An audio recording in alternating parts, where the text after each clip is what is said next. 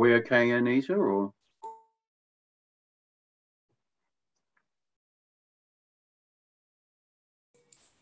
Let's go. Okay, yep, you're ready to go.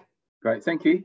Uh, good morning, everybody. I'd like to declare the meeting open. It's uh, 8.31. Welcome along to the Audit Committee meeting for the Friday the 19th of June. Um, just like to uh, start by mentioning that, um, advising you that the meeting is being streamed live to the City of Adelaide website and recordings also being published to the internet.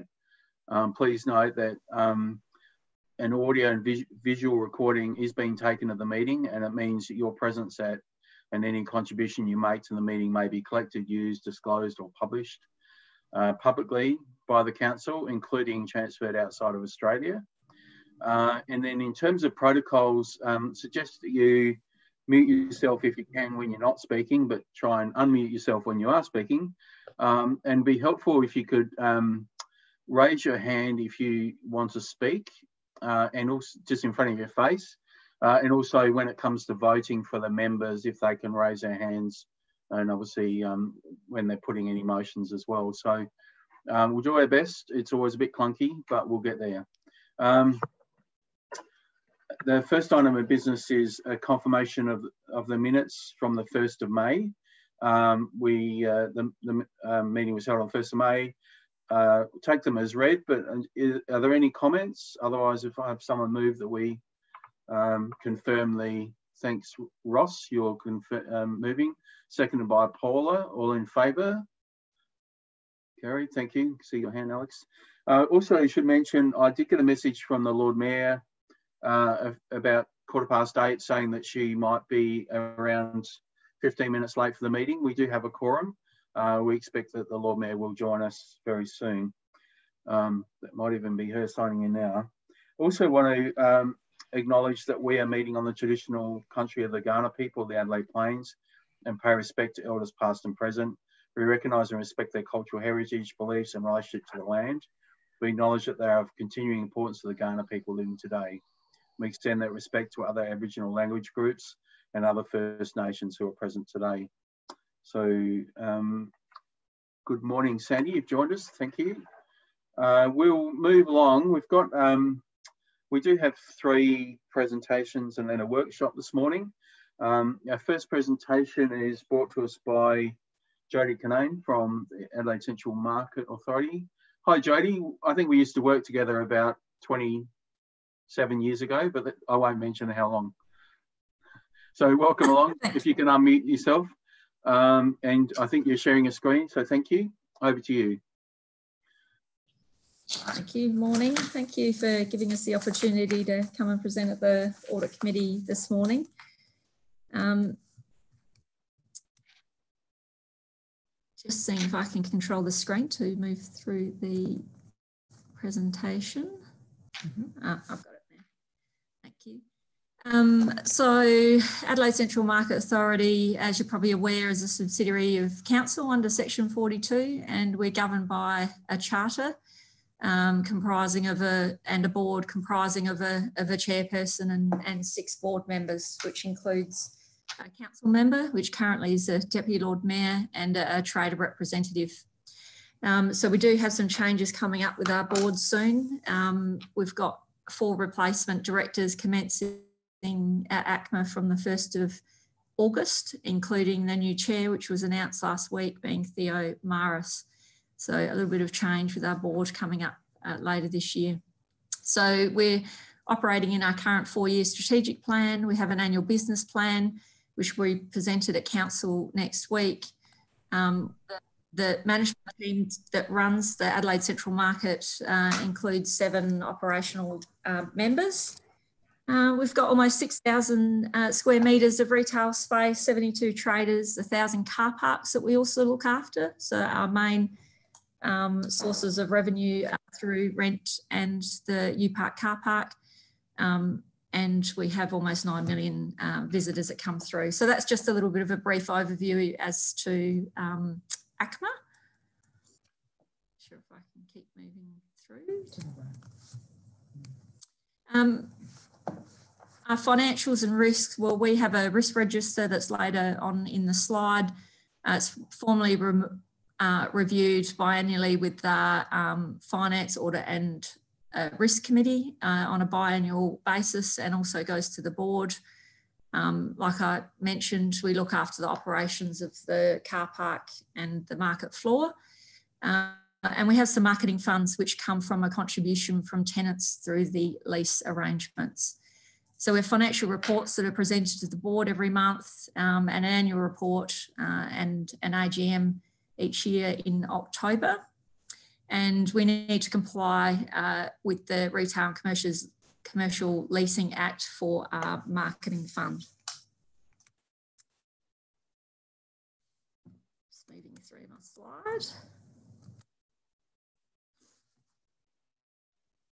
which I seems to have lost.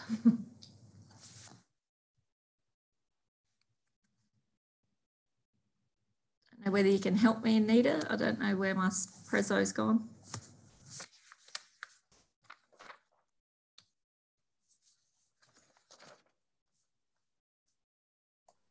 I'll just try and reload it for you. No, just while you're reloading, um, um, there, there, are some slides in here um, about our highlights for 1920, which I won't go through in detail.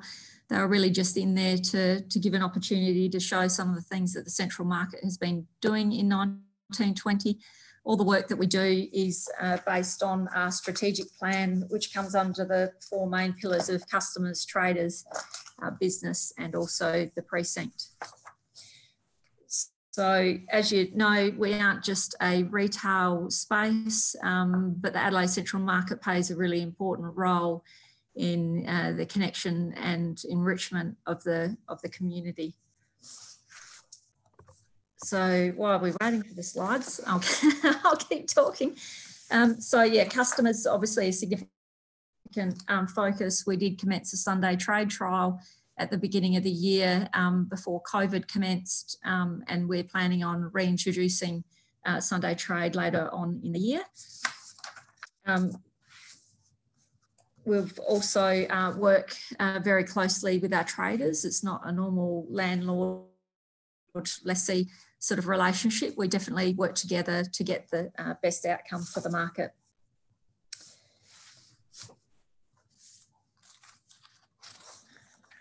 looks like part of my slide is back, but perhaps a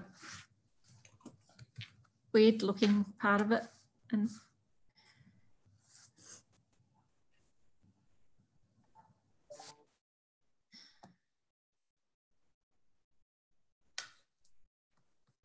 Is that working for you, Jodie? Oh, is it?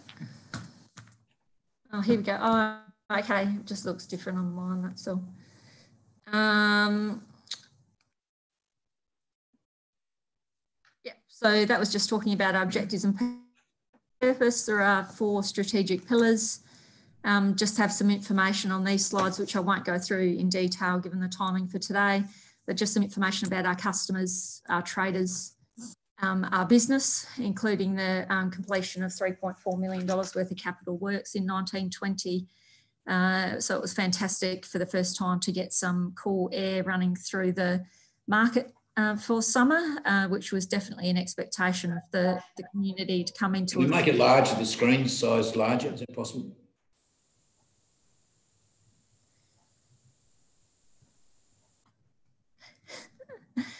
oh, I could.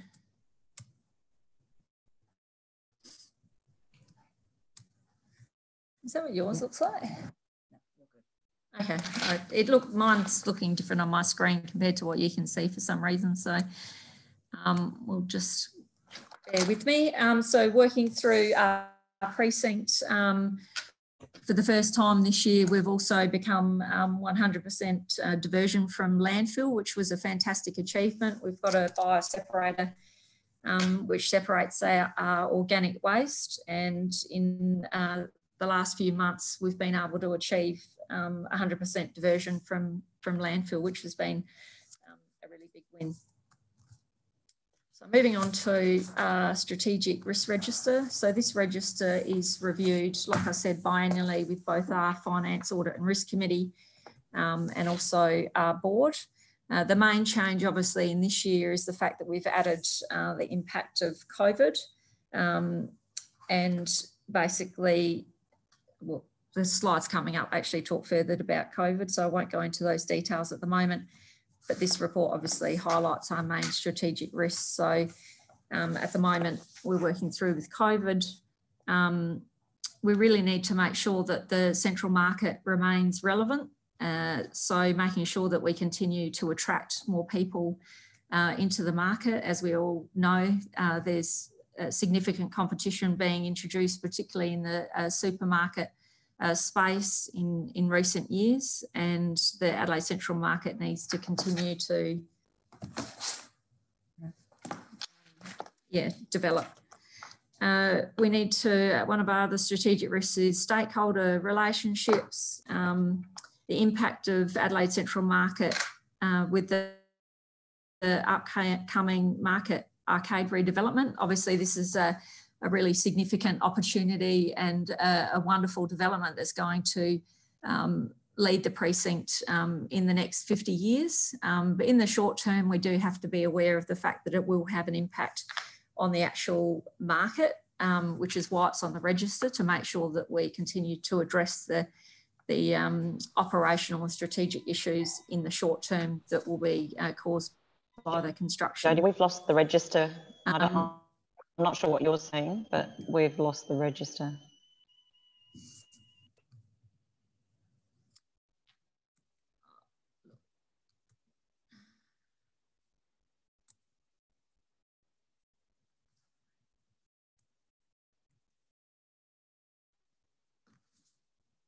I think my computer has a mind of its own at the moment.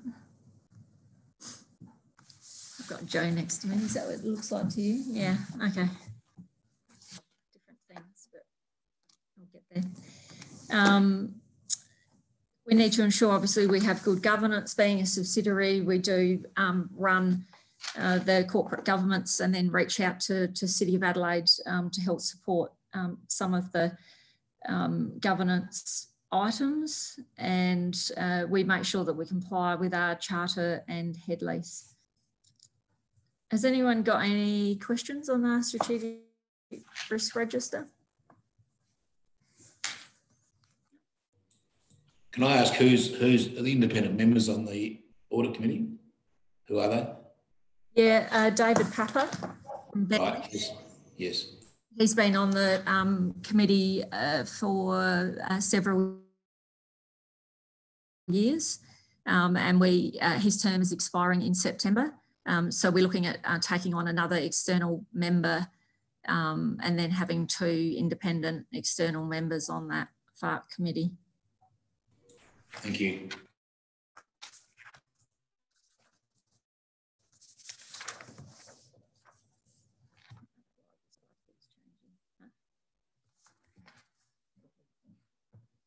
Yeah, right. Sorry, I'm just looking at Joe's screen because mine actually looks different. Um, okay, so moving on to COVID. Uh, so this has obviously been a, a, a, challenging space, but the, the fantastic news is that Adelaide Central Market has been able to trade um, throughout the whole entire period of COVID um, and the traders have remained open and trading. So as the initial response for, for COVID, we established a, a COVID working group, um, which from the beginning of April started week, meeting weekly. Um, there's four directors from the ACMA board and myself on that working group, um, just to make sure that we were continuing to make um, quick and uh, relevant uh, operational decisions on the business as we know the landscape was changing quite quickly, uh, particularly in the beginning, and just making sure that we were staying on top of it. Um, we have a COVID management report that goes monthly to the ACMA board meeting and it summarises all the actions that ACMA has taken. I haven't put that in the pack today. It's now uh, probably about 160 pages um, capturing all the all the um, operational actions that have been taken at the market in this time. Our strategic risk register has been updated. Um, City of Adelaide were able to pay, I don't know why it's moving. The City of Adelaide um, were fantastic in providing uh, rent relief for the traders from the 1st of April to 30th of June. And that really was the uh, saviour, I guess, to, to make sure that those traders in really tough trading conditions were able to, to stay open and continue trading. So communications have been uh, extremely important throughout this time. Um, we've had uh, a lot of communication with our traders. Most of them, as you know, would are small owner operated businesses and rely on the authority to help support them with um, providing relevant information. So from the 4th of March, um, when COVID became significant, since then we've uh, issued 31 newsletters to, to the traders. Um, we're finding maybe there wasn't a lot of cut through um, with the newsletters, so I actually supported this with um, videos that went to the traders, which I think really helped get across some of the information that they were they were looking for in times of uncertainty. Um, we've set out 10 newsletters to customers to let them know what's happening at the market. We've completely changed our um, marketing uh, approach for the first time, saying how um, how how open and clear the aisles were, how uh, safe and secure the market um, was. Um, so we got some fantastic reach and great support on our socials throughout that time.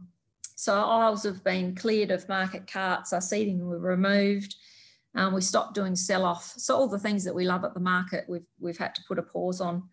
Um, we participated in the U Park Plus offer for the car park from the 1st of April, um, which has caused some congestion in the car park in the last few weeks and will be expiring on the 30th of June. However, was a great initiative um, to help bring people into the car park, um, particularly in April and May. Um, uh, one of the one of the other things that we have been um, conscious of during this period, both with traders and uh, the management team, uh, um, mental health and wellness. Um, so we have made sure that we've provided um, opportunities for people to make sure that um, they're doing okay. We've also been liaising um, with other Melbourne-based markets, um, keeping abreast of, of what was happening and, and, what they were doing over there. And of course, um, regular meetings with um, SAPOL to make sure that we were compliant with all the restrictions that were being in place. Uh, we also implemented a pre-order and drive-through service, uh, which helped customers come and still shop at the market if they weren't feeling that they wanted to come onto the market floor um, which uh, we received some really great um, PR for, and it also achieved over 1,200 orders that went through that service during that time. We also had to make sure that we're compliant with the um, COVID emergency response commercial regulations as a landlord. Um, so we've had to get across that and make sure that we're compliant. And of course, all the basic safety and cleaning initiatives that, that, that you see, um, but increased cleaning frequency, increased security in floor wardens, um, hand hygiene stations, which you can see in the picture there, uh, floor decals, common signage, stall signage, um, and we've got automated half hour regular P, uh, PA announcements um, that remind everyone of social distancing. So it has been um, a really challenging period for the market, but I think it really has been a time that we can see that um, ACMA and the traders and the council have worked uh, really well together to get the best outcome um, to make sure that the market's been able to, to trade um, and really been um, a beacon for, for fresh food um, in the city.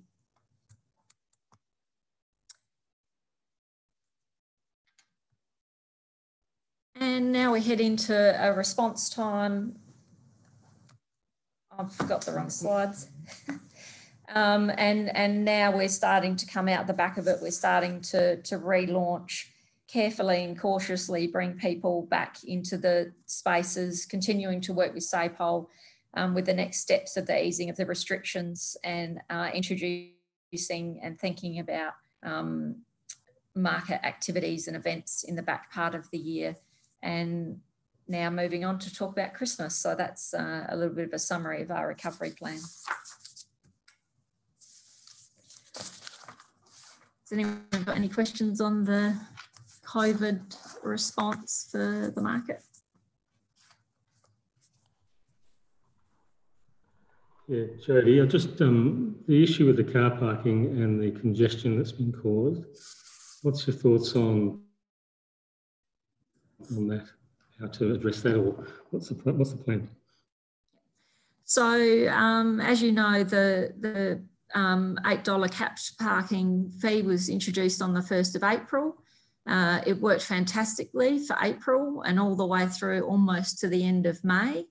Uh, at that time, with the uh, increased number of people coming back into work in the CBD and then the other U park uh, car parks becoming full, it did start causing congestion in our car park towards the end of May. Um, we have responded, and as of yesterday, um, the Adelaide Central Market U Park was withdrawn from the offer on a Thursday and Friday. Um, that really assisted, that worked immediately yesterday, Mark. So I was checking the car park numbers. I've become an expert on the car park numbers. Um, and absolutely, we had adequate car parking at lunchtime yesterday, which is our peak trade time. So that has absolutely um, resolved the issues on Thursdays and Fridays. Um, and then the offer will change from the 1st of July at the Adelaide Central Market. So we've got two more days of, of uh, you know, a bit of a challenging time for the customers, which is the next two Tuesdays in June. However, we have got some good messaging out there and people realise that we've acted and changed the Thursday, Friday and we'll adjust the rates from the 1st of July to make sure that we've got the adequate short-term parking for the market customers. Okay, that's good. Thanks. Yeah.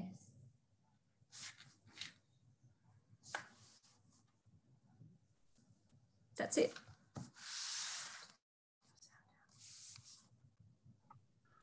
Thanks for that, Jody. Um, I think people have had an opportunity to ask questions during the session, so we might move on. But thank you for your uh, presentation today. It's good to hear from you.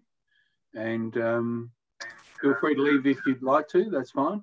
Uh, and we'll we'll move on to our next presentation. So uh, we've got the Rundle Mall Authority. Jonah Williams is here. Good morning. Hi, how are you? Good. Wait for this to.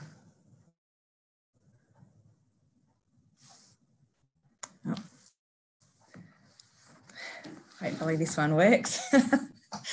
like tech issues at 8.30 on a Friday morning. Sorry, it just errored, so I'll just load it again. No worries, that's fine.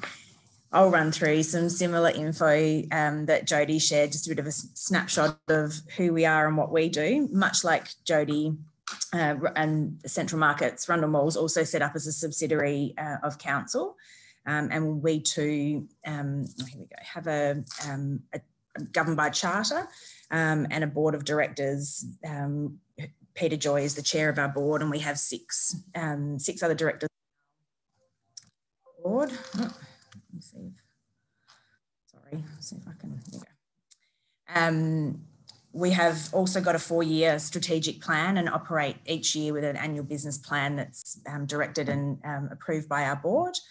Um, our team, we've got 10 people in our team, so me as the general manager, and then a team that's made up largely of marketing, events, um, and retail operations. We work really closely with the City of Adelaide um, to deliver all the operations uh, on the mall and support the, the work of the City of Adelaide uh, for all of the businesses in the precinct. The boundary of Rundle Mall uh, is actually quite big um, and goes from North Terrace to Grenfell Street and then King William to Pulteney Street and everything in between. Um, so we have 15 arcades and centres that run off the mall and about 1,000 businesses, so 700 retailers and about 300 service providers that are within, within our precinct. Um, it's one of the busiest places in the state and um, certainly the economic heart uh, of the city with 24 million visitors and about a billion dollars in retail sales that go through our precinct.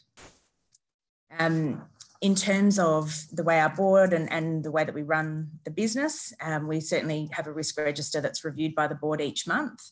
Um, our top three risks uh, obviously have pivoted to COVID um, and the response to COVID and all the mitigation approaches to that. And I'll talk a little bit more about the response that we've done today and some of our roadmap going forward for COVID. Um, the economic and retail industry impacts are certainly a big risk for us and the, the number of retailers that we have in this space and how we're working with other industry bodies, with Business SA, with Shopping Centre Council of Australia uh, to mitigate some of the impacts that are being felt across the retail community. And then broadly, just emergency and crisis management, working really closely with SAPOL um, and our security team to just make sure that safety uh, is absolutely paramount in the mall. We're funded um, a little bit differently. We're funded by a separate um, levy and a separate rate, um, as well as some supplementary income um, that we generate out of on-mall activations and events. So we have two parts to our, our income. Um, all of our financials and reports are managed and presented each month to the board and approved by our board. And then like ACMA, we have an annual report and audited financial statements that are presented at our annual general meeting by the end of October um, in line with the charter. Um, in terms of what we do and how we do it, um, we are really here to, I guess, market and promote the mall uh, and make sure that it remains the state's premier retail and commercial shopping precinct. So really about making sure it's a vibrant beating heart of the city uh, and ensuring that we promote it that it's used by residents visitors the community our traders and that it's a safe and great place to shop and we've broken our strategic focus down really about attracting attract, stay, and enjoy. So it's really about getting people here to the heart of the city, um, making sure they stay a bit longer, and ensuring that they have a great time while they while they're here. Uh, and our focus is really on four kind of key areas of information, experience, uh, advocacy, and brand. And I'll just talk a little bit about some of the highlights um, over the last um, well 12 months, but pre-COVID certainly, and then I'll touch a bit on some of the COVID things. So um, for us in that kind of information and advocacy space, it's about being the hub of precinct information um, and influencing um, the precinct for growth and, and minimising any negative impacts. Um, so we gather up a lot of information, we do a lot of market research, we have a lot of insight into who our customers are, our traffic data, the performance data of the businesses. So making sure that we can share that through retailer forums. We send out a lot of um, newsletters and information to our businesses each fortnight. Uh, we do a lot of printed documents and we still distribute hard copies of information out to all of the businesses, hosting and holding regular meetings with all of the key traders in our precinct. We obviously also, as part of this um, part of our business, worked with the City of Adelaide to complete and launch the Gawler Place redevelopment project before Christmas, um, including the great public art um, and green arbour installation. Uh, and then we've also um, I guess that, that that precinct, making sure that it's really activated and a vibrant part of that busy thoroughfare from King William, uh, sorry, from North Terrace through to Grenfell Street. Uh, we've also worked, part of the advocacy part of what we do is working quite closely with state government and advocating for um, trading hours and working, I guess, on those additional trading hours available to all of the businesses and when we worked quite closely on ensuring we got some extra hours for uh, Black Friday, for Boxing Day, during the fringe um, period and festival period over the Superloop weekend, and then certainly throughout this COVID period, ensuring that there's additional hours, uh, particularly for the supermarkets to trade, uh, and having those extra hours for customers um, available over this time. And then we've also worked um, with a lot of our property owners and private developers around um, opening several flagship stores. So the Mecca flagship, Sephora, which is a great introduction into the market, beautiful new Forever New store, the Doc Martens store, Vietnamese laundry, amongst others. So just around ensuring that we're getting really new, interesting um, tenancies in the mall. In terms of the Rundle Mall brand, so a big part of what we do is in the marketing um, space. And last year we launched the new creative and the new brand with our new agency for the mall. And it was really about connecting uh, into the emotional connection that South Australians have uh, with the mall. And I guess really celebrating our iconic malls balls. Um, so everything that we do is really centered around coming back to that icon, being the heart of the city, um, and that sense of, I guess, nostalgia and storytelling and the narrative that we have uh, with, our, with our customers and with our audience. Uh, we do a lot of work on our social media channels. We've had a big advertising campaign um, over that period in outdoor, in TV, in radio, print, and digital. Um, and certainly working really closely to drive strong PR um, stories and engagement as well. Um, in terms of the visitor experience, so this is really about ensuring there's a really easy and enjoyable visitor experience for everyone who comes to the mall. Uh, so again, working with, with Council and City of Adelaide really closely to deliver um, a really clean and vibrant mall and making sure all of our um, asset management, the cleansing is absolutely spot on. Uh, we partner really closely and work with SAPOL and security, like I said, to ensure overall safety. And certainly through this COVID period, that's been really important.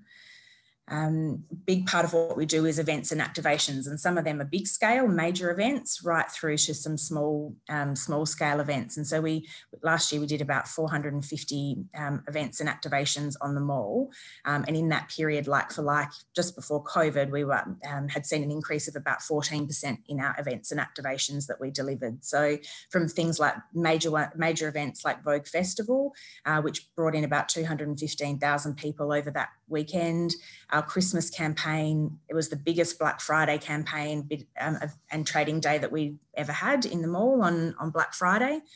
Um, the Adelaide Festival Dolls House that we brought in through the festival period, and we saw an increase of about 25% of traffic over that weekend launch for Adelaide Festival.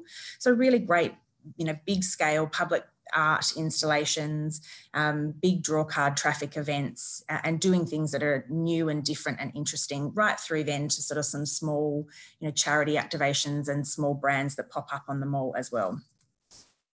Um, in terms of our uh, COVID response, um, much like the markets, it's certainly been a challenging time in the in the mall as well.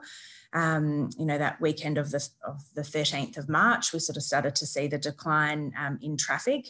Uh, and then through April, it was certainly uh, very quiet as most stores closed, but we certainly had um, many of our essential services still running. So supermarkets, pharmacies, department stores, a lot of the um, food operators were still open for takeaway.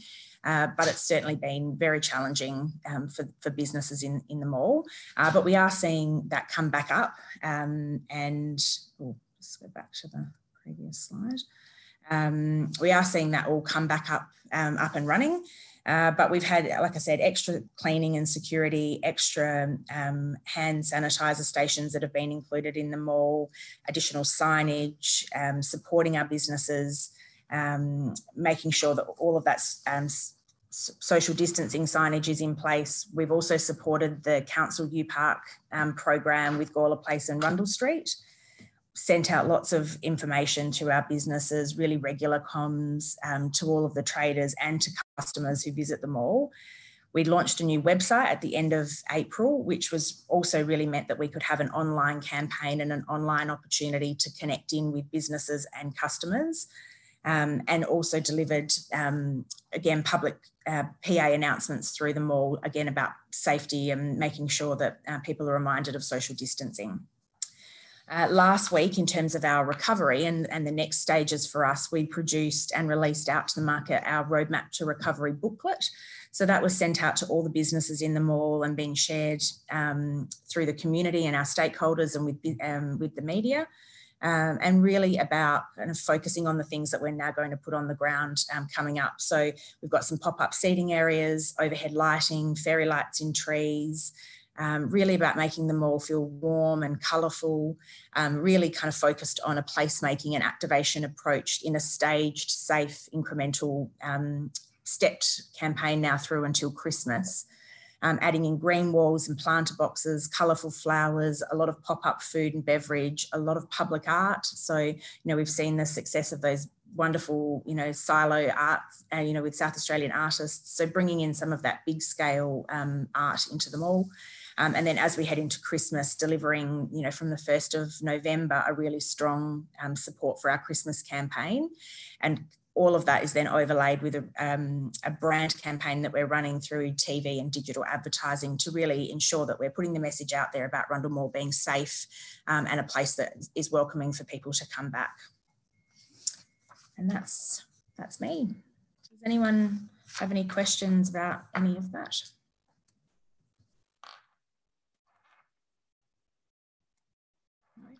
Doesn't look like it. Thanks, Joe. Appreciate your presentation this morning and uh, thank you for joining us. Um, David?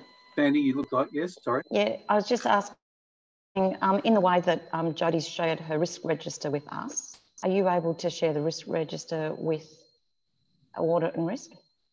I can, that's fine. Ours is just set out a little bit differently to Jody's. Jody's got a nice one pager. Ours is across about four pages. So I hadn't uh, hadn't included it in the presentation, but I can absolutely share that with, with the team. I'll get that through.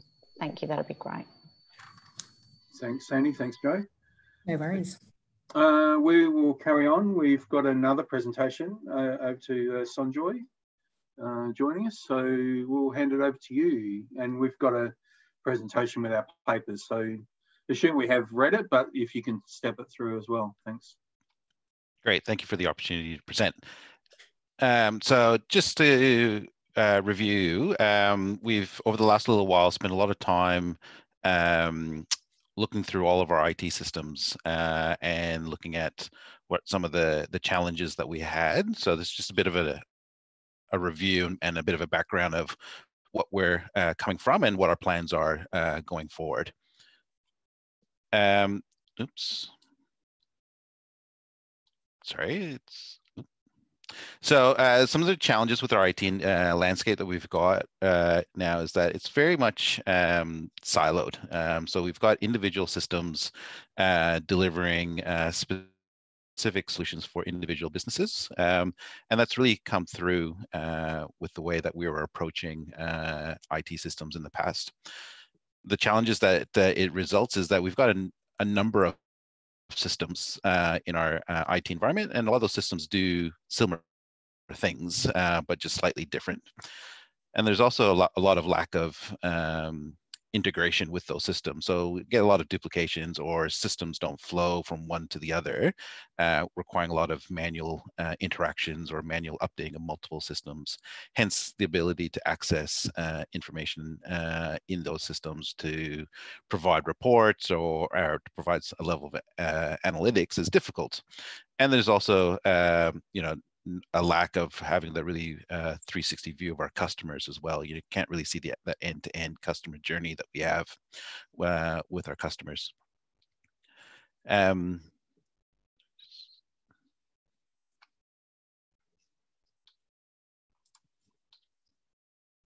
um, so the, the approach that we are taking now moving forward is uh, an enterprise architecture approach. Um, and that's really uh, a global standard in the way that um, modern IT systems uh, should be looking at, uh, should be implementing. Uh, and a lot of uh, organizations are doing that. Um, and slowly, a lot of local governments are actually now adopting this process as well. What the enterprise architecture approach allows us to do it is it actually looks lets us look at um, not only the IT technology bit, but also looking at the business. What are the business functions? What are the standards around data that we have to look at uh, and adhere to? And then what are the, some of the common systems that we've got? Uh, so you can think of the enterprise architecture sort of like a what a standard blueprint would look like for a house. You know, you kind of lay out the house, would look at where you uh, where you want your uh, bedrooms and stuff like that, and then you build uh, to that architecture design.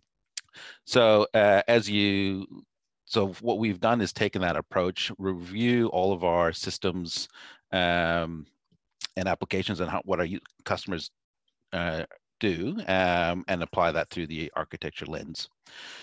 What that provides us is uh, uh, ability to identify what our core systems are and what are our core platforms and how we perform those functions uh, in the organization and also tying that into our strategic plans and how we can ensure that our core systems um, uh, improve or the way we deliver or enhance the way we deliver our strategic plans. It also defines which platforms uh, perform what roles. So we, we end up looking at reducing the number of systems that we've got uh, and remove that duplication, making it a bit more efficient on the way we deliver our, our systems and also looking at implementing modern solutions so that we can enable faster response to the business uh, become a bit more agile, uh, and also ensure that we've got uh, the data integrated with each other. So there's no um, duplication of efforts or processes. In essence, what, what our uh, the architecture vision that we've got is basically a modular architecture which with dedicated building blocks. Um, so the way I kind of like to think about it is think of it as Lego pieces. So, so you're not having lots of Lego pieces doing individual things, but you take these Lego pieces, you can put them together together into delivering a business function or an outcome to our customers. Uh, and we don't need to have uh, duplicate systems running all over the place.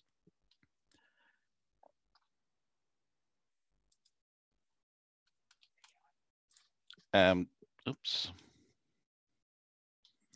So what the uh, so what we've done uh, is taken the EA approach that we've uh, uh are adopting, uh, we've actually developed what our future target state should look like uh, from an applications perspective. So, you know, what, what are the things that we want to achieve and how do we want to achieve that? And then what are the things that we need to do to put in place to deliver that uh, based on the, the architectural principles the principles that we really are, are, are moving towards is you know, ensuring that all of our IT investments that we do have a strategic alignment, uh, so that we, we ensure that it's delivering on our on our goals. Has to have a customer centric focus, um, and it needs to be long term focus. So we don't want to spend uh, or invest in solutions that are only short short lived, uh, but they really need to uh, provide long term benefits to the organization. We also need to build business capability. So as soon as so as we uh, implement new systems, we need to look at how can these systems tick more than one box. You know, how can we have a solution that can deliver uh, multiple capabilities uh, to the organization? And then we also want to leverage our system. So we don't we want to uh, making sure that we maximize the use uh, of all of our systems. So you know we really want to make sure that we um, look at getting solutions that can be uh, configured uh, and uh, and reused by multiple organized uh, by multiple people in the business. Uh, and then obviously we want to be agile, very quick, deliver solutions quickly to accommodate future changes, be being able to share that information to as many people as we can so that we can ensure that we have or allow the or allow the ability to make um, uh, decisions with good good uh, data. So just get to the next slide. So based on um, uh, the principles that we've taken, we've basically developed this um, architectural blueprint for us. So this is what our future target state is going to look like. And as you can see on the bottom row where it says the enabling systems, they're really the, the core, uh, or I guess the, the core things that we need to uh, have in place to enable the uh, the business to deliver on uh, on their objectives. So things around knowledge management, we've got the tools to help support the organization Security uh, is a fundamental thing. So to ensure that uh, we've got secure systems that uh, that ensures our customers and our, and our users' uh, privacy is put in place. And then communications is more around making sure that we are, are leveraging the best uh, communication networks that we've got. So the, and being adaptable and flexible. So things like, as COVID has introduced, working from home, being able to be mobile uh, where we work, uh, embracing mobility, all of these core enabling systems uh, then uh, can be built upon to deliver some of the, the core back office uh, solutions. So if you look at the blue row, what we've done is now uh, uh, consolidate into uh, solutions that are enterprise solutions. So have one event management system, have one CRM system, have a single finance system, and then uh, the integration is really the key investment that we're spending uh, a lot of time around to ensure that we can now integrate the uh, the back office systems to our front office systems without needing to have bespoke solutions that deliver those things. Uh, and that information and integration layer here will also now allow, allow us to uh, provide analytics capabilities to the organization as well. And we're doing a lot of things around uh, supporting um, RMMA, for, for example, around people movement and analytics and, and stuff like that. And that's actually delivered through this new uh, integration uh, platform that we've got. And we're also looking at uh, improving the way that we deliver our frontline services. So looking at our new, uh, looking at new modern content management systems to be able to do online forms. Once again, I think the, the COVID-19 has, has shown that uh, people are, have or want to, to be able to interact online now more and more. So we're needing to look at how we can enable that quickly. Uh, and then there's other things around uh, from a smart cities perspective, the ability to take in information from uh, smart devices, IoT solutions, sensors, people movement sensors, uh, and then feeding that through into our decision support systems. Uh, but fundamentally, uh, there's three aspects that we need to need to have to make sure that we can deliver on this target state. So we've developed a, a, business systems roadmap. So that's a plan for the next uh, three to three to five years around how we deliver on this target state, um, which has three transformational elements in there, which is around customer uh, knowledge and analytics, and then uh, uh, then another uh, section in there around how we provide uh, business operational enhancements uh, as well. So there the uh, how we improve individual areas uh, with new systems and technologies. Uh, along with that, to, to be able to really uh, implement uh, the business system roadmap, it's really important for us to ensure that we've got it into our long-term financial plans. It's not something that we can just do in, in one year. It does will take us a, lot, a few years to deliver that. So it's important that we've got that identified in, in, in our long-term financial plan, which we've got now.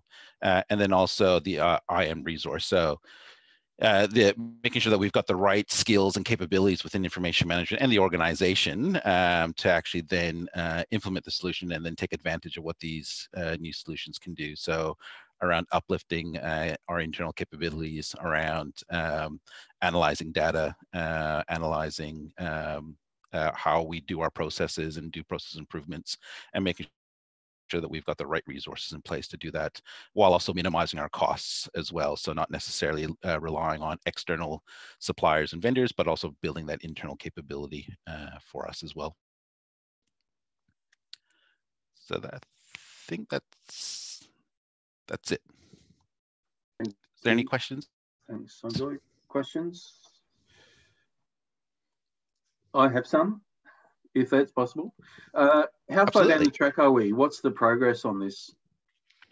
Yeah, so we're uh, 2021 is year two out of our five-year plan. Um, so we have over the last over the last couple years have made some progress. So we've implemented our new uh, data management platform. So that that's our integration layer. So that's in place right now, uh, and we're using that to uh, enable our integrations into our new asset management system that we've got. Uh, so another project that we've got is a new asset management system. Uh, we're also now working with state government on the new uh, e-planning portal, so bringing that back in-house. So we are uh, uh, in uh, in train right now, and next year will be year two of the, of the bigger plan. And you're not looking at a integrated system, underlying integrated systems like a Tech One or those kind of an ERP or something like that. Yeah. Yeah, yeah, it it's uh, we have done a, a, bit of a review uh, on uh, the benefits of an ERP or not, and I think uh, although the integrated system from an ERP is, good, it it does actually then tie us to one single supplier and provider, and I think it removes a little bit of that flexibility and agility because now we're dependent on a single uh, provider to for all of our systems. I think there's probably some, uh, there's definitely an opportunity to um, consolidate our systems um, because we probably have a number of systems that do the same thing. Not quite sure if, if uh, moving wholehearted into an ERP will actually provide us the flexibility that we need. I think our focus should really be around that, in uh, ensuring that we can do integration really well. And what about the cost? What's the budget for this? What, how much are you going to spend? Yeah, so uh, our plan for the next three years is uh, we're looking for about three million dollars uh, uh, per year for the next three years to deliver on on uh, on the roadmap. And and what about and that takes into account uh, yeah, so what we've done is provided, uh, so as we uh, go through each of our projects, we develop our project plans, and then we also do benefits realization as part of uh, developing the, the plans, and then ensuring that uh, we then review and making sure that we deliver on those benefits. So we've uh, really tightened that up last year with our asset management uh, project. So we've got a, a detailed um, benefits realization um, matrix. Uh, and now it's looking at, as we're now about to implement uh, the asset management system is now revisiting that to making sure that we're realizing those benefits. So that's, uh, that's inherently built into our project management process. So is that, um, so is that in addition to the $3 million budget? Like do you, do you then have say expecting, you know, realized benefits uh, that come out of the fact you've spent the $3 million each year. I mean, like something similar we did Onkaparinga, there's $8 million benefit through license savings and things like that because you're consolidating systems and then reducing inefficiencies and you know headcount savings. So what, what sort of benefits are we talking about realizing? Yeah it's uh, i i'll have to take that on notice because uh because i don't have it in front of me overall from a project perspective. Um we are tackling the benefits, uh, the tangible benefits uh, on an individual project by project basis. Mm. Uh, we have identified some high level benefits by uh, consolidating, or sorry, the way that we're approaching uh, our resourcing and how we apply. So currently, when we're delivering our projects, we're using a lot of external resources. So we're changing that model to internal resource mix. So that uh, automatically gives us a, a 20% savings in how we deliver our projects. But actual uh, individual project benefits, I'll have to get back to you on that one um, just to see where it's at. I think that would be a good thing to do, something that we're doing at Onkaparinga and that works yep. really well to be able to uh, prove. No, absolutely hear you. Uh, and then also, yep. are you going on site? Is most of this going to be hosted uh, on site, or are you talking about external hosting? Uh, so it's majority of uh, our approach is uh, cloud first. Uh, and then, um, so out, externally hosted through software as a service is our preferred approach. and then if that's not possible, then we actually have our own public cloud environment, which is on Azure. Uh, so that's where we would uh, is our second uh, approach to that. So not have anything on premise is what our preference is. Okay. Sorry, a bunch of questions I had. Uh, Sandy, you want to have a question? Uh, yeah, I, I, actually it's a follow up from what you said, David. Um, uh, the three million dollar investment was based on business case, so um, it would be very good if that if that benefits realisation could be brought in because it's more mm-hmm. than just moving resources from internal to external or vice versa. Yep. Um, there, you know, uh, we need to be really clear that for an investment of that size, um, and that was my understanding when it came through in budget, um, that there was some uh, significant benefits realisation for that investment. So. Uh, I'd like some real clarity on that to come yep. back through audit. Absolutely. Um, you may want to contact the people at Onkaparinga. Uh, they, they're producing reports to that effect that might be of interest and save you some time starting your own thing. Um, I, yeah, I think, absolutely. We, I think that was done ahead of time, David. My understanding my, my, my memory certainly was that when that was brought in, it was uh, a business case and that was the part of the budget decision. But um, so I would like to revisit that. Yeah. Good. Thank you. Any other questions? Nothing. Thanks, Sanjoy. Appreciate your presentation. It's um, no doubt we all found out how reliant we are on technology for the last three months. So, uh, but also we want to do do things smarter and um, cost effectively, and also give us real benefits. So, um, looking forward to seeing some outcomes from that. Thank you. Great. Thank you very much. Great. Thanks for that. We'll move on. Uh, we, have got another workshop. We've got a workshop item now. Um, the business plan and budget. Uh, um, we've got the papers for that one. Uh, now, I don't know, Claire, are you driving or someone else driving this, or Alex maybe? Um, so Anita is going to drive. We're not going to talk too much. I'm here okay. with Alex and Nicole. Um, if you're okay, we'll take it as read, Chair. Is that sure. all right? Yeah, so um, Anita, if you just go straight to slide three, um, please. So we're doing a two-step approach um, this year because obviously as a result of COVID, we spent um, the last few weeks with the help of audit and our council members um, working through the financial implications of the impact COVID has had on the City of Adelaide. Um, what we're proposing uh, to present to um, Council next week to consider is a um, fees and charges and expenditure framework. So what that will allow us to do is um, continue to um, operate our core services as well as um, have fees and charges in place from the 1st of July. Um, and then on the 30th of June, we'll present to Council a draft business plan and budget um, for public consultation. Um, Anita, if you just jump straight through to the key budget movements, I'll hand over to Alex just to talk through um, what the numbers are looking like. Um, Slide 11. 11, yeah. No.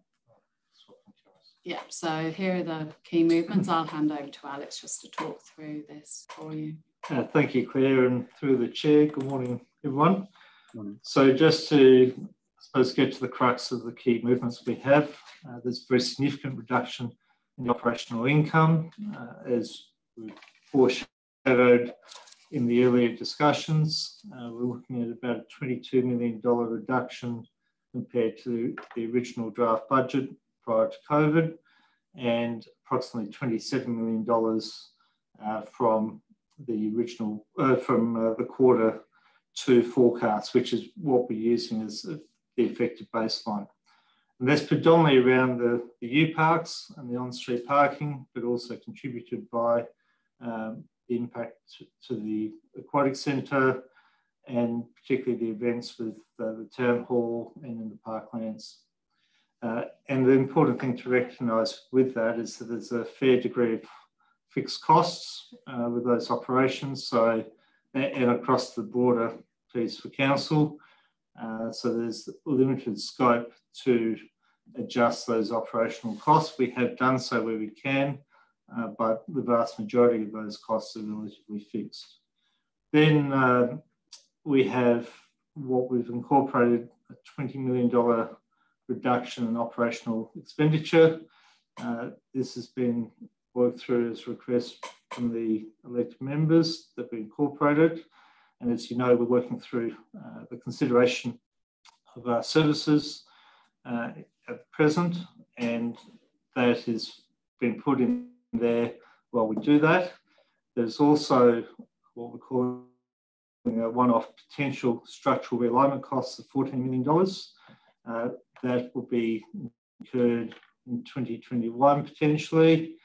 Uh, and that's to recognise the fact that the vast majority of our services are directly tied to uh, our staff and FTEs, and that if we reduce those services, then there will be potentially a flow on impact from that. The other thing to just highlight is that there's been a very significant reduction uh, with infrastructure plan.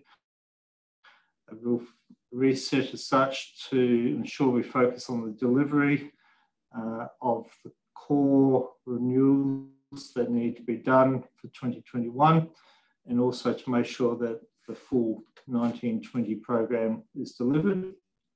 So once you actually put those together along with the major projects, the actual component to deliver next year is not dissimilar to what has been delivered in prior financial years.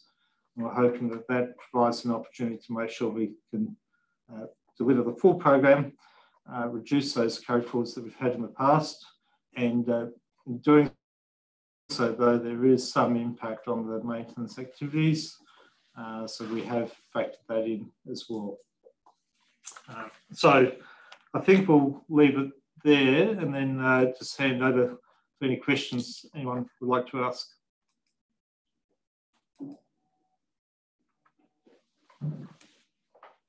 Thank, thank you. Thanks for that, Alex. Um, Okay, over to any members for questions or comments about this paper.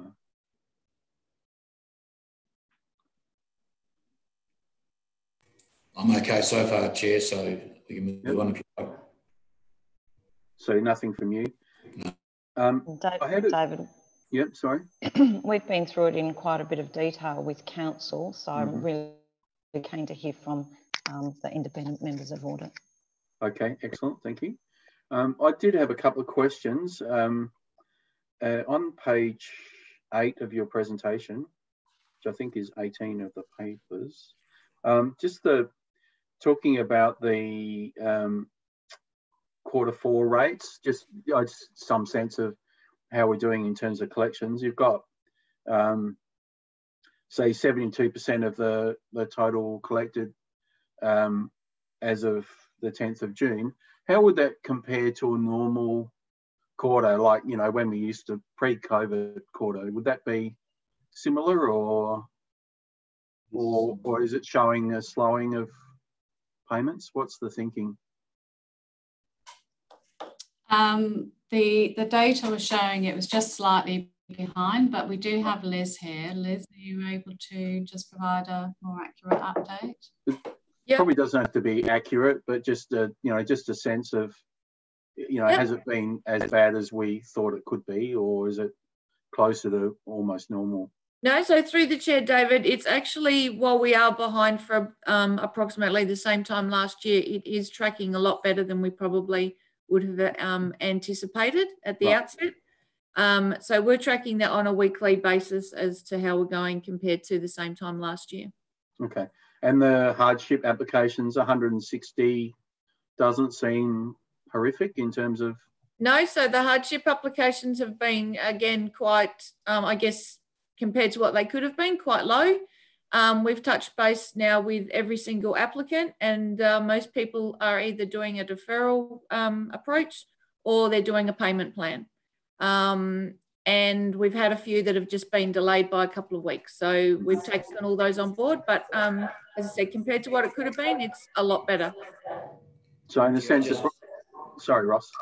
Uh, just uh, thought I'd make a comment there. I, I'm a ratepayer, and I just thought I'd ring up and go through the motions of saying, you know, I've got my uh, rates. Uh, is there any uh, delays I can do? And then they said, they said, well, you know, you can go through the hardship provisions. And I said, oh, and I'll just pay the account. So I think they did it very well. They, they the people on the phone, um, as we wanted them to, you know, so we're discouraging the delay. You know, you take a delay if you get it. If you go through a hardship thing, you won't do it. So basically, I think that that worked well, and I hopefully my my experience there is um, common because I think it was done very well on the telephone.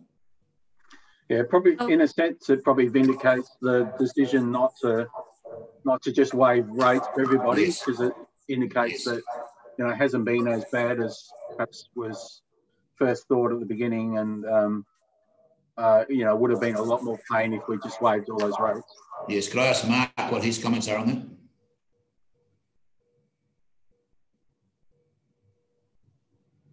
Think Mark's. Sorry. Sorry, Ross, I just missed the question.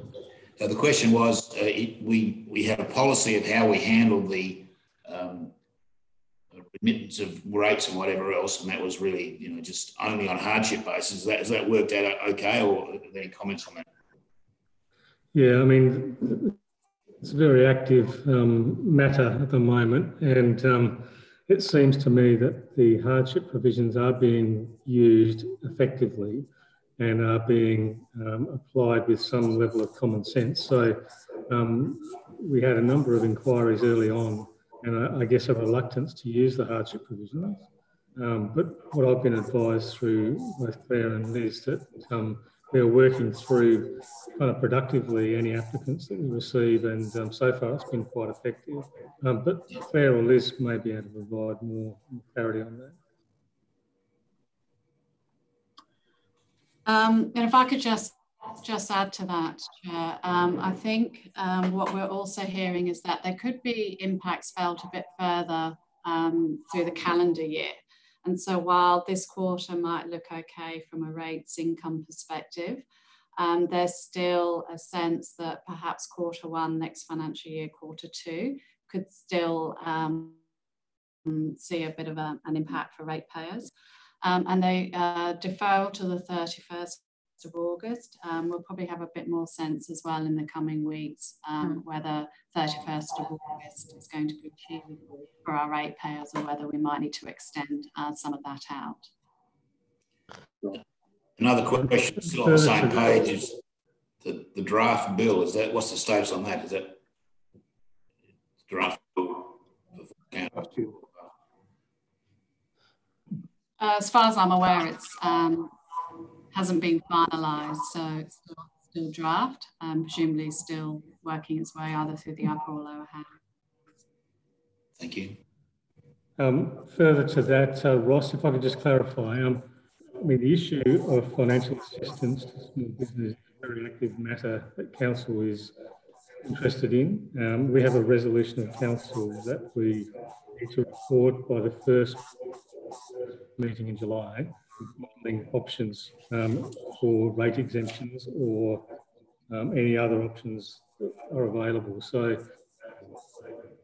whilst um, the rate hardship provisions are effective at the moment, um, the council members are very keen to look at what other what other levers there are and what other options. And you know, we've been um, we've been assessing how we're performing against other states and other capital cities, um, and there are a variety of, of levers being used.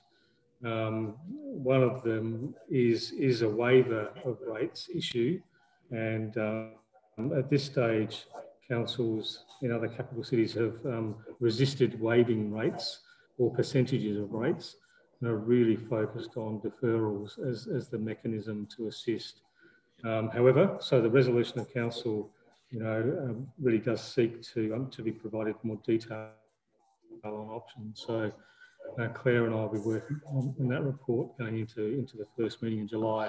So there'll be more discussion at the council member level um, on those options and, and we'll see how it goes. But obviously, whatever we do in that space will have budgetary impacts, and we need to be very mindful of that given our budgetary position. Thank you. The uh, parking side of things, obviously, um, there's been uh, some commentary today around uh, park, UParks being quite full, and I've experienced it myself. Um, obviously, the some of the impact's been around um, perhaps the amount we're getting every day is obviously down because of the the cards, but um, where where we like thinking around the parking, it's not quite as bad as we were expecting.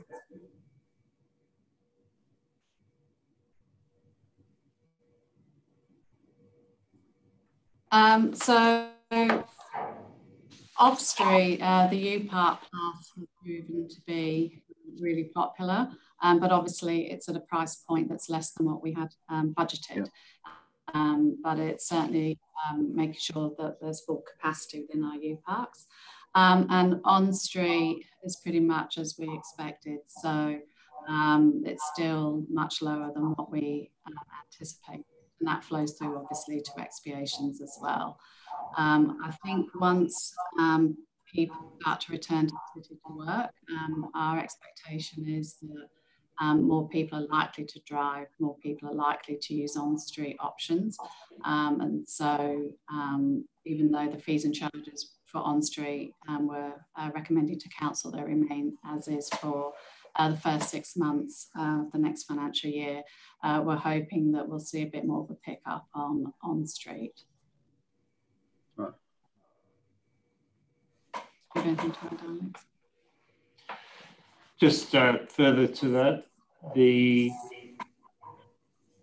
just further to that, the main uh, reduction obviously has been in uh, the rate, uh, maximum of eight dollars compared to up to maybe eighteen dollars for or nineteen dollars for early bird, and obviously we've also got days in which um, we've got people who come in and miss early bird and get charged up to potentially thirty dollars a day. So we're not picking up that income we'd otherwise get.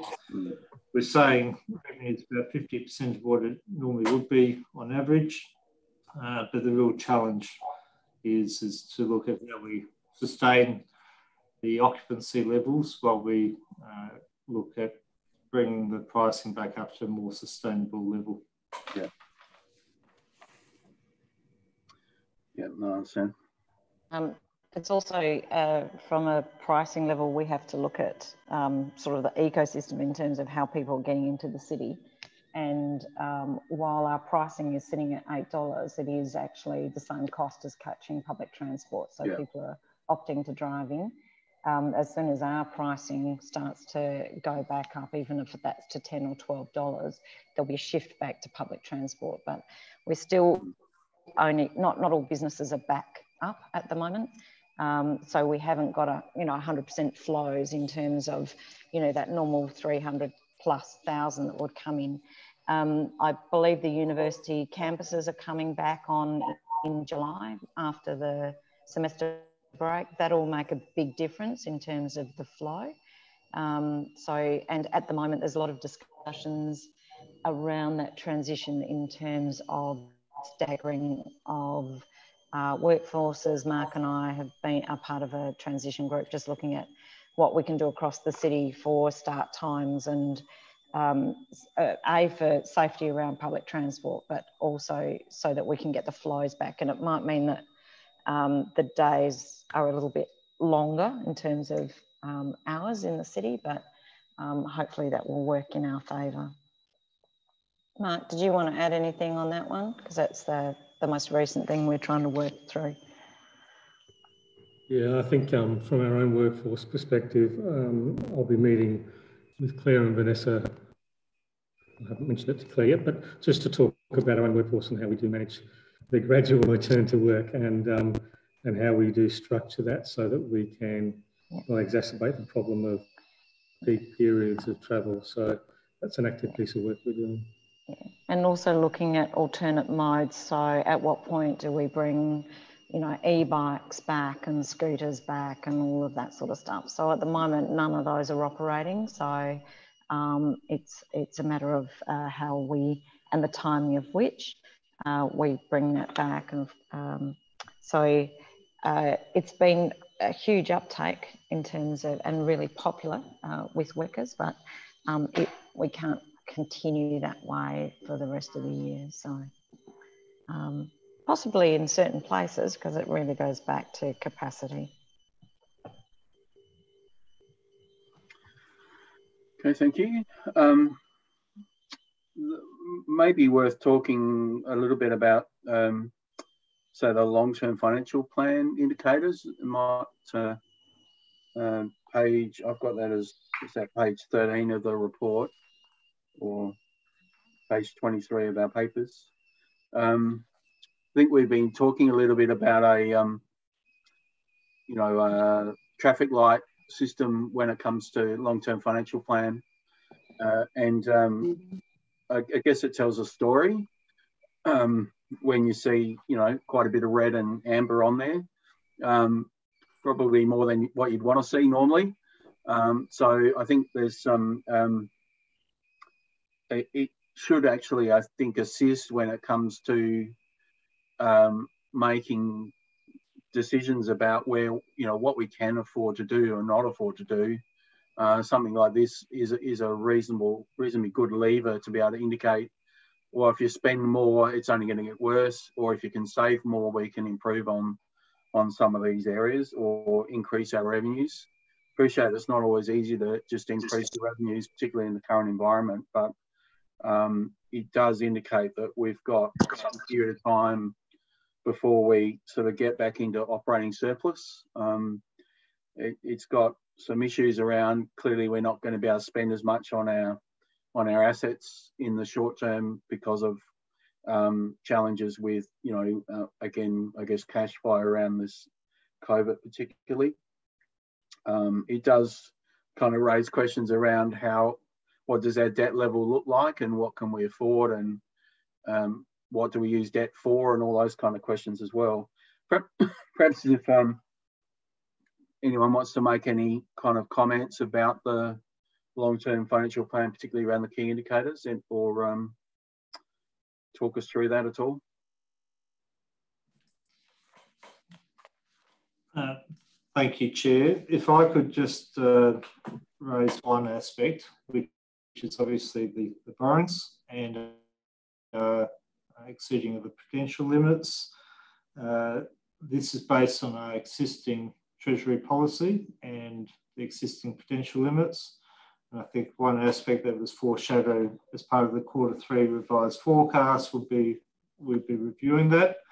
And uh, obviously the papers today we've uh, raised uh, the proposed adjustments to those ratios.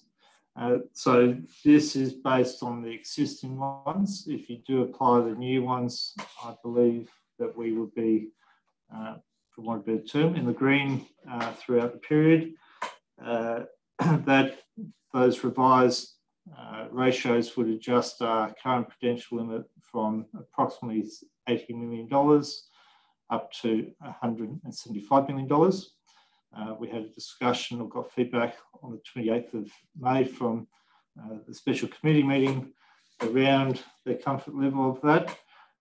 Uh, and the general consensus from our understanding was there was comfort provided there were some very clear guidelines in terms of what we use borrowings for and to make sure that that's applied for city shaping projects or projects that have got a clearly defined return on investment. So um, yes, those uh, the indicators are uh, concerning from that perspective, but underlying the fact that we do have a very solid and stable uh, asset base. The operating surplus ratio, uh, as we've discussed, we have included in the budget a reduction of $20 million. That for 2021 is offset largely by those potential one-off structural realignment costs of $14 million. Uh, but then going forward, you can see that there's a significant improvement in that. Unfortunately, at this stage, it isn't quite at the point that it is a surplus uh, for 2021 through to uh, 25, 26.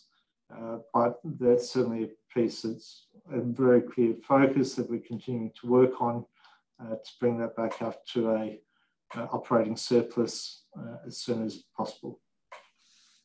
So you see that um, $20 million um, reduction next year as being a permanent reduction in your costs? Is it, you know, you're looking to have a strategy of ensuring that you don't get scope creep or, um, you know, contractor management and all the kinds of things you need to sort of keep those keep those costs out of the business? Absolutely. Yeah, I can, I'll respond to that if you like. Um, right. I guess um, just in broad terms, with regard to our financial sustainability, this um, COVID-19 has provided a, a, kind of defining moment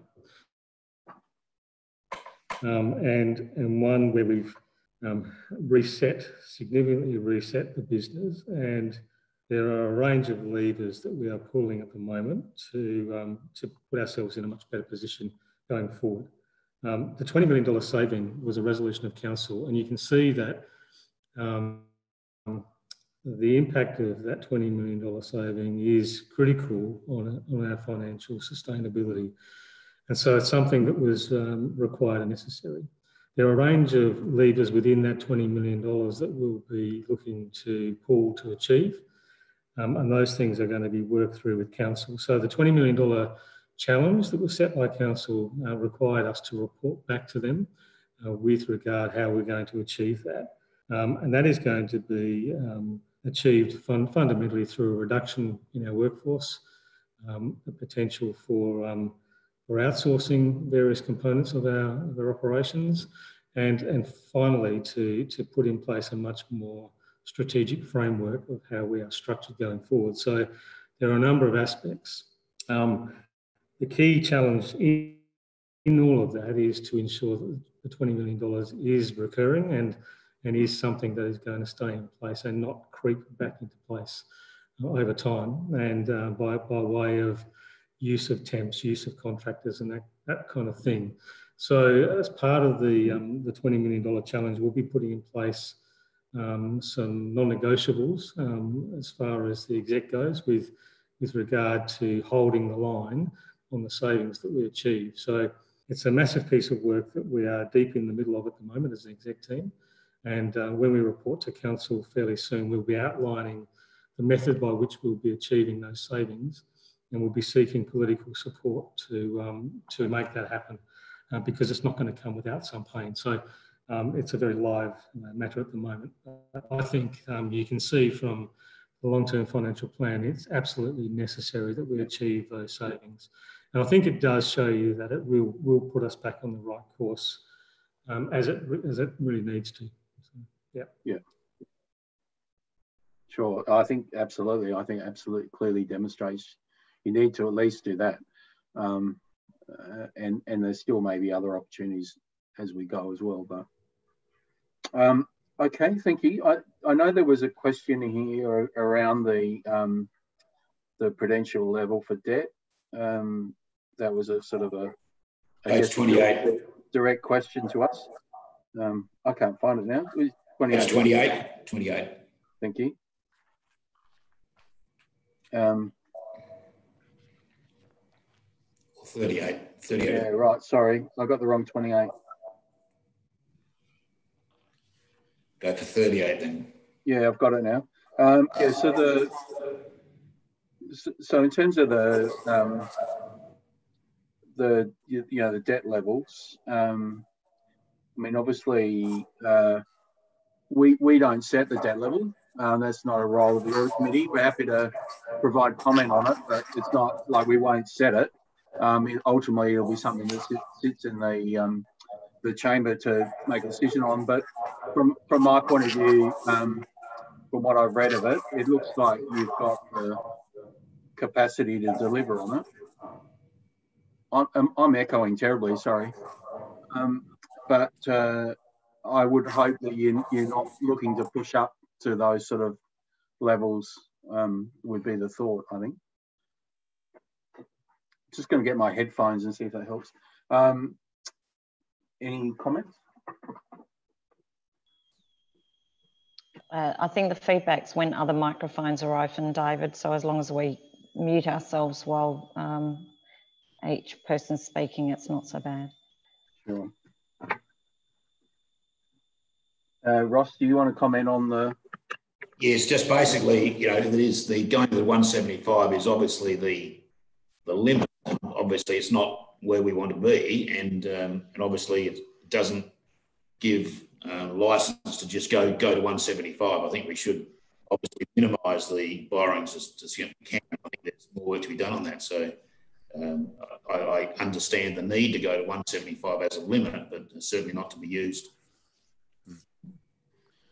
Um, I, I don't think, if I could just say, I don't think there's any intention for us to borrow straight to 175. It's actually setting a limit so that we can look at our long-term financial plan yep. and see what the impacts would be. Each of those decisions will come into council separately and will come through audit committee anyway as we go. Um, and some of the reflections in the long-term financial plan uh, in terms of those borrowings, it certainly doesn't hit the 175 limit, but it's no. It's really more of an exercise to work through with council uh, as to what the top end of an increase would be and actually what those ratios look like if we get there. Thank you. And further to that, if I could just add, they're, they're very valid comments. Um, the intent with any any future um, borrowings would be um, in response to stimulus opportunities and and also to target income generating opportunities as well. So as the Lord Mayor said, we would be reporting on an individual basis but it just provides a strategic um, limit to what we'd be prepared to move towards. It's been poorly reported as we will be borrowing that amount of money, which is mm. not the case. Um, but um, there, there are certainly some expectations from the state and the federal government that local government will be a player in the stimulus response required for the community coming out of COVID 19. We have our limitations, but we do have some capacity as long as it, it really stacks up for the ratepayer and there is matching or if not matching greater than matching funds available to achieve some some stimulus um, productivity. So it's a piece of work that's really important and it has been sensationalized in the media unfortunately so but um, you know I think this is a fairly measured approach and we'll just set some parameters that the council can work towards uh, reminding again that um, each each matter would have to have some real clarity over the, the reasons why we'd be looking to borrow. Um, David, that that uh, decision hasn't come through council yet. It's been it's come through as a workshop. Okay. Uh, so it's one of the assessments that we're making. It will come through with business plan and budget uh, when we make the decision in council mm. in a few weeks. Yeah. I mean, certainly uh, one of the factors, obviously, in looking at levels of debt is also the serviceability and the the uh, interest associated with it. In a in a low rate environment, which we've sustained for well, it feels like a long time now, seven or eight years, and, and possibly will continue to. Um, that is certainly a factor in in your capacity, and and obviously that's demonstrated in some of the other ratios. But um, yeah, it's yeah. also, um, uh, I think, with the um, the team have made it very clear what that foregone income has looked like and what the impact has been on our budget to deliver services as well. Mm. Um, so the fact that we've frozen the rate in the dollar for the last five years, and and it looks very likely that we will do again in this budget, um, that's actually had a, an impact of, um, I'm not sure, Alex, is it between 15 and 18 million, something like that? It would be. Mm. Just um, further, David, um, the um, you know the sustainability ratios. I think the sec- local government sector will need to take a close look at those ratios and almost come up with a COVID nineteen set of rate, um, sustainability ratios because the circumstances are quite different for the next number of years, and so. That's a, that's a discussion that the CEOs are having uh, uh, at the metro level, at least, about how they're going to reshape the sustainability levels to respond to the circumstance that we have at the moment, as is what's happening across the state and federal government. Really. Sure. Chair, could I move to uh, page 41 or page 34 of the papers? It's the um, the uniform presentation of finances long-term financial plan that goes out obviously in 10 years. And um, the thing that strikes me is that normally in these long-term plans, you get years four, five, six, and onwards, and fairly general. What normally happens is that there's not much capital expenditure in the budget because you don't know what you're doing in six years' time. But normally there's an operating surplus. So you, you normally get the last, say, six, seven, eight, nine, ten years would have healthy operating surpluses before you decide to make some decisions about spending that money. What's happened here is that net capital expenditure, you can see at the bottom there, is nil for the last five or six years. But obviously, the operating surplus is not substantial. It's just sort of almost break even. So that's the worry in that um, we've really we're not having capital expenditure, which obviously we'll be having because we'll make some decisions on that. Um, but we haven't really got the um, the operating surplus to be able to you know use for that those sort of purposes for other sort of projects and and uh, other uh, matters that the council wishes to do. So that to me is a bit of an issue because it just says um, we haven't we know we're going to have capital expenditure in there, but we, we're not sure where the money's going to come from. Any comments on that? Yeah, Ross, I think um, you picked up on, a, an important point. Um, I, would be interested to know whether the audit committee has a view on on the concept of zero rate and the dollar increases uh, and the sustainability of, of that approach. And we've never really heard from the audit committee on that particular matter. There's an assumption from Council, and an expectation that we will continue with zero rate and the dollar increases. Um, and uh, you can see that even with the savings that we're looking to generate, that there is still a modest um, opportunity to get back into surplus. And, uh, and so you've outlined that pretty well. Um, yeah, um, I, we're talking about there are obviously a range of levers that we can look to pull. Um, but other than further savings, um, you know, the position is what it is um, on the basis of not increasing our income.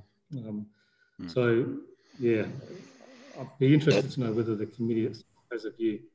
Mark, uh, my view would be that, um, and I'm also a ratepayer, but my view would be that I think this year, to me, it seems appropriate to have a nil increase, but I would certainly wouldn't uh, exclude, I wouldn't expect there to be continued nil increase in rates uh, in the dollar from, from now on after 2021. And I, I would agree with that. I think it's um, not sustainable unless you can find other sources of income. And we've demonstrated that um, some of those other sources of income are perhaps a little bit more tenuous when something like COVID hits. So, um, you know, there's only a few levers. You get more income or you save more money um, or you borrow more. There's only that's the only way to deal with the fact that you haven't been generating enough in the rates to cover all the, the projects. Um, the only other thing is, I think I'd be seriously looking at some of the projects that have happened over the years um, and and bringing it back to you only do projects if they generate income um, and generate a return. Uh, and I think I know that's a challenge because there's always going to be projects people want to do, but uh, it's going to have to come back to can we afford to do it? Um, yeah, there's, um, there's, a, there's a, a, general view that um, core services is the, is the focus, and that is something we need to look at. And I believe the $20 million saving is a good target, but I believe that on the basis of either zero rate in the dollar increases or decrease in, in the rate in dollar will require further savings to be achieved. So that's sure. something we need to closely look at. Um, but we need to get our head around it fairly soon. So the, the long-term financial plan that I, that I see at the moment is a good step forward, uh, but I think there's more work to be done um, to ensure that we're in a good position going forward. So um, yeah, interested in the other views of members. Paula, did you? Yeah, I think I, I on that note, you know, you've asked for feedback about the committee. Um, I, I agree. I think it's all very well to say we'll have you know zero rate, etc., etc. But if you're getting to the point where you're borrowing anyway, all you're doing is effectively imposing a larger rate base in the future generations. And I think there's got to be some point where that just not that just cannot be sustainable. So you know, it's, it's just something has to give, and, and it has to be done in a more equitable way. The um, only other thing I did see the asset sales flagged in 23, 24, 24, 25, maybe $25 million proceeds. The, any reason on why that perhaps might take so long? I mean, three or four year process, is it, is that, is that how long it takes or?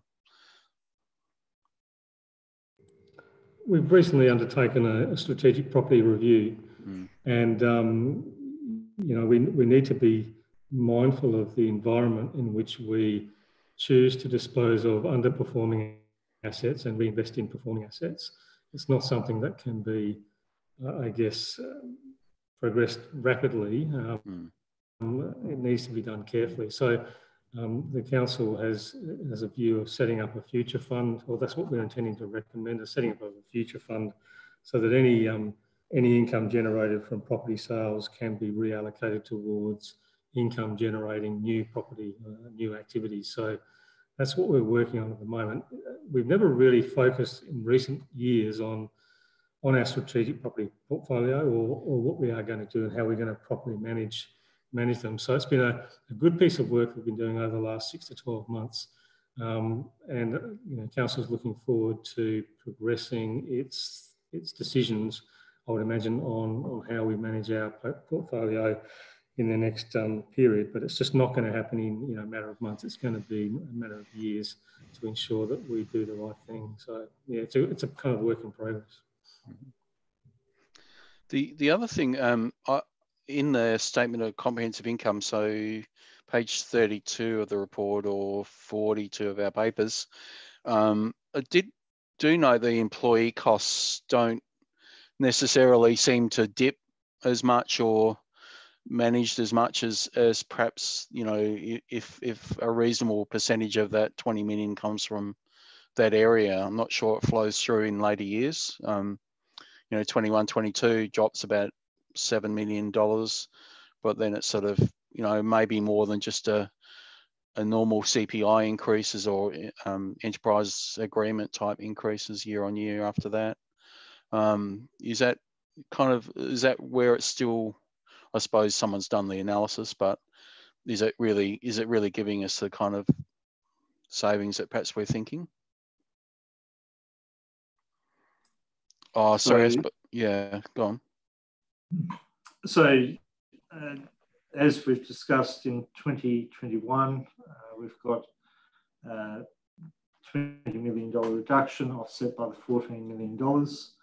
Uh, and then, yes, in 21, 22, in theory, you've got uh, $20 million reduction bedded in. Um, perhaps if I take that one on notice and just come back with a bit more mm. detail behind the assumptions on that. Yeah, just uh, I'm not sure. It's, it's not obvious in just the employee costs. That's all. It might might be somewhere else, um, Alex. Okay, I'm just conscious of time. Um, is there anything else you think you need an answer on or comments from from the audit committee. Um, otherwise, I think we do need to start to bring this to a, a, close to be able to finish the rest of our business. Nothing else. Yes. But just one point of clarity: the Treasury policy uh, will yes. have to be considered by Council this coming Tuesday night, uh, in addition to the expenditure framework and the uh, 2021 fees and charges. Okay. Um, and were there any specific comments from any members on on the policy? Um, I was fine with it. You're okay with it, Paula? Ross, you're okay? Okay, excellent. I think what we'll do is um, we don't need a motion. We'll just bring this um, item to a close. Uh, and then we do still have um, a number of things I'm going to bring home in the next 20 minutes. So um, thank you for that. I will uh, um, hand over to the external audit management letter. Uh, Andrew's been sitting patiently joining us. So um, Andrew, do you want to unmute for a minute? And um, we've obviously all had a chance to read the report, but is there anything particularly you want to raise in addition to that or? Oh, I still can't hear you, Andrew. You appear unmuted, but we can't hear you. So.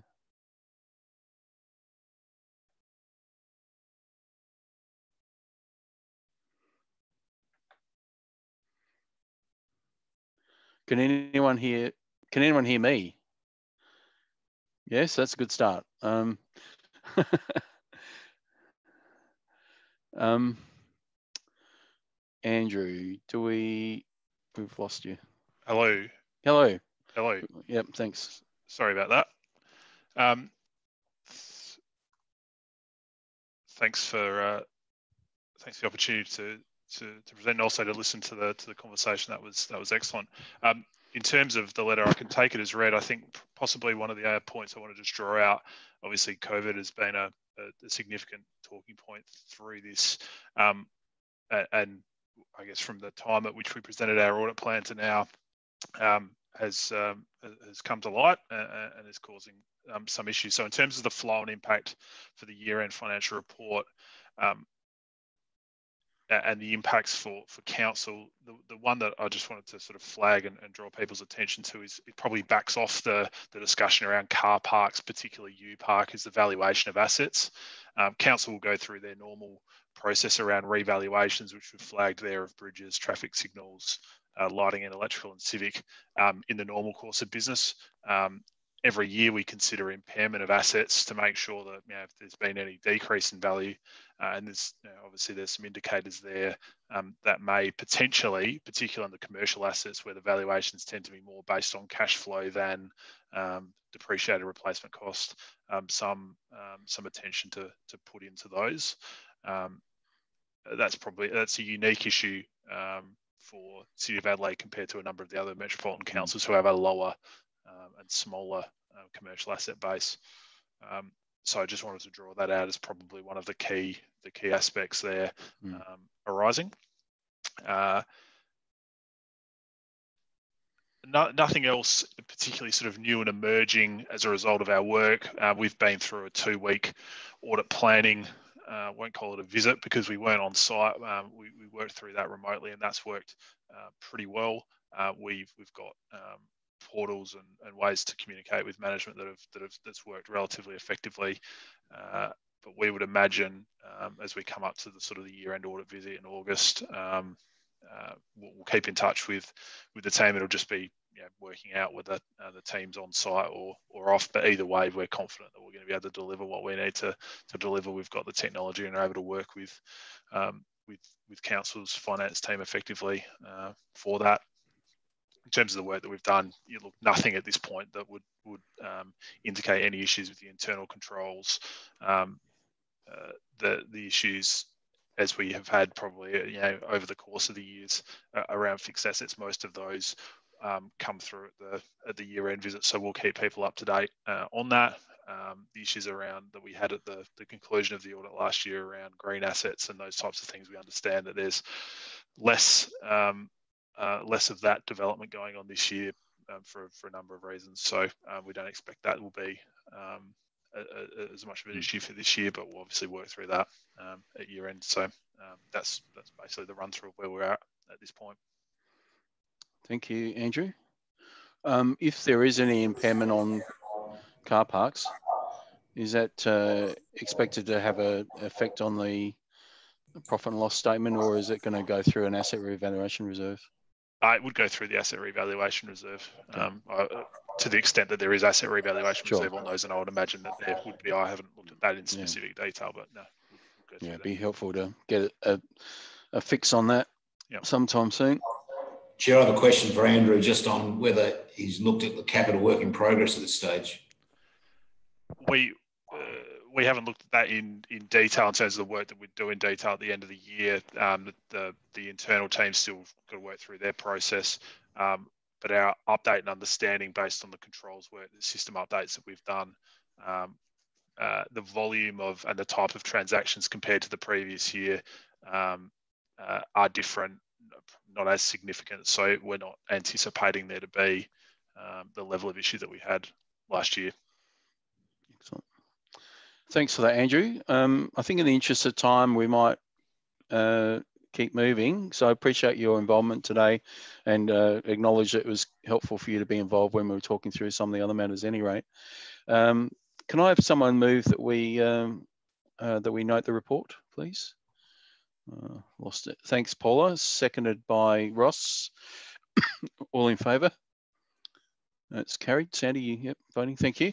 Now, Sandy, um, did you just send me a note that you're needing to leave soon, or? Yep. Uh, yes, I have uh, an appointment at Government House, but Councillor Knoll is here and he's my proxy. So uh, when I leave shortly, um, he will step in. Thank you. Acknowledged. Thank you. Um, and David, um, David, I also have to let you know I need to leave as well. So, but um, okay, I can take it from here. Thanks. All right, thank you. Um, yeah, we'll, we'll push on. Item six point two is the internal audit plan. I notice Jess has joined us. Um, again, we've got the paper. We should have had a chance to read it. Um, any particular comments for Jess on the plan? Acknowledging that we're looking to do some more of this in-house this year uh, as one of the cost-saving measures.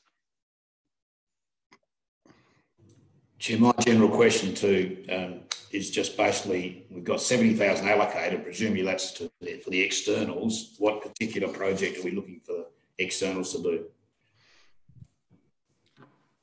Uh, thank you, and through the chair. Um, the three projects the externals will be doing will be, um, so KPMG will be doing both the project management review and software license review. You might remember they have been on, um, they were on our previous internal audit plan and we had to defer them.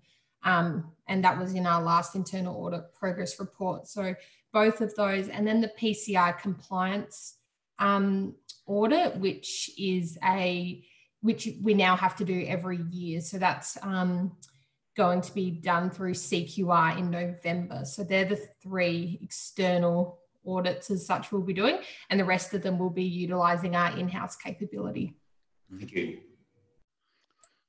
Um, Jess, the I was um, brought back memories when you're doing an employee gifts and benefits internal audit. We haven't done one since 2012 13. Probably feels about that long.